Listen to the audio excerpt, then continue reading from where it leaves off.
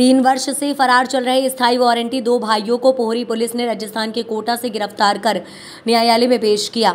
जानकारी के अनुसार 2020 में अपराध क्रमांक 133 बटा बीस धारा दो सौ चौरानवे, तीन सौ तेईस, पाँच सौ छः तीन सौ इकतालीस के विरोध लंबे समय से फरार चल रहे दो भाई, श्याम सिंह, पिता केशव सिंह तोमर, उम्र चालीस वर्षीय निवासी तिमानी हलकोटा। राजस्थान एवं रिंकू, पिता केशव सिंह तोमर, उम्र तीस वर्षीय निवासी तिमानी हाल कोटा राजस्थान को गिरफ़्तार कर न्यायालय में पेश किया गया। जहाँ से न्यायालय के आदेश पर जेल भेज दिया गया। संवाददाता धर्मेंद्र शर्मा की रिपोर्ट।